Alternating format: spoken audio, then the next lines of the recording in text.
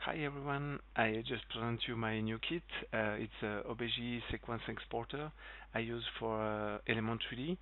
So um, uh, here I have an example with uh, three uh, different uh, type of uh, animation.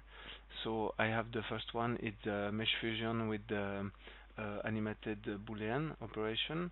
I have the second one, it's um, um, mesh up with the small animation. And the last one is uh, just a, a, tube with the deformer with the bend uh, effector.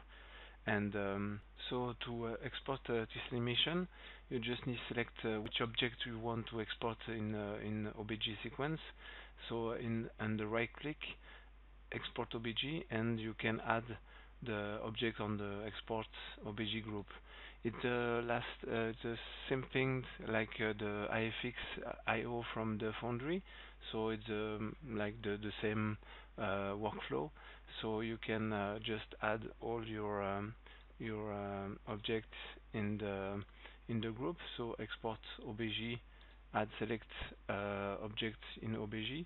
So if you look here, it's create an an group with the object you want to export. And uh, after that you just need to set your uh, frame range uh, for your animation.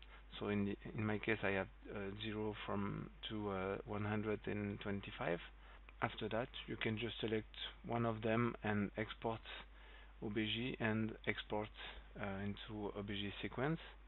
And now it asks you for the for the name and um, now we just need to wait to export um, the, the frame. I try to put a progress bar but it doesn't work uh, so well, it crashes so I just uh, don't put uh, the, the progress bar for now. Alright, and when it's finished so I can go to the uh, to the After Effects and now I can to import the 3D sequence and um, here I have my objects so I just can load and um, I just normalize the size and uh, yeah I could just put some material just to, to see better and uh, yeah I can just try to to play and uh, like we see uh, we have the animation in in Element 3D so yeah it's working well. So I hope you like it. And uh, yeah it's uh, it's free but if you want to pay me a beer or coffee it will it will be nice. Thank you very much. Have a nice day. Bye bye